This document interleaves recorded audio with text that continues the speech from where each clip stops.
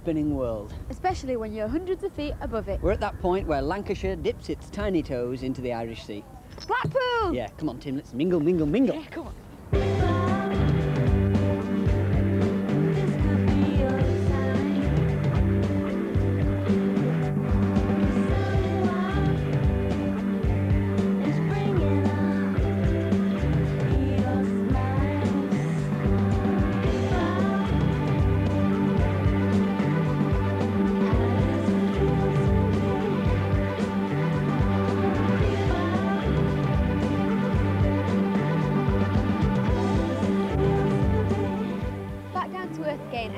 We've got an Express View this week. We've got a problem child. We've got fashionable beachwear, We've got clubs and why they won't let you in.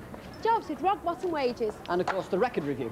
and of course another fantastic competition with prizes attached. Yeah, lots of contemporary and new things, but uh, Mrs. Merton will be sat on the beach having a cup of tea.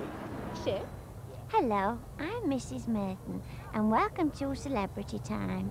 Today's celebrity is a DJ, which stands for disc jockey, on Radio 1, which is the popular parade channel, and it's Liz Kershaw. Hello, Liz, how are you? I'm very well, Mrs. Merton. Do tell us about about radio, and you work with Bruno Brookes, don't you? Yes, we share a show. Do we do it together every Saturday and Sunday between 7 and 10. Now, he's very, very small, isn't he? Does he mind? Well, he's not very tall either, but No. um, he just always say that size isn't important. Does he? And after three years, I've come to believe him, actually. Yes. Do you think that um, it's unusual that you've got into radio? Because, you know, if you don't mind me saying, your voice isn't what, you know, like Gloria Hunniford, shall we say. It's a bit more rough. Well, I'm not Irish, no. You're Um, more local. It's maybe not as, you know, as nice as the other people's voices. do you not think so? Well, Well, I'm doing all right then, aren't I? Yes. Mind you, I always say a lot of people, well, a, a great percentage of the population do talk like me. So why should we always have people on the radio talk like this, you know, rather refined, voices. rather like yours? Oh, yours? yes. Well, thank you very much. But tell us about radio. It's more of a man's world, isn't it? And do you find it hard being a lady in a man's world?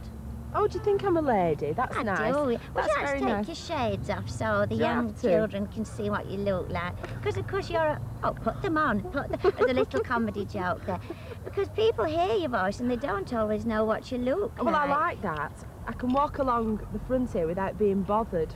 And you know how important that is, don't Oh, you? yes, because it might not be so nice if people are asking for your autograph. I wouldn't like to think that I couldn't walk 50 yards without somebody pestering me.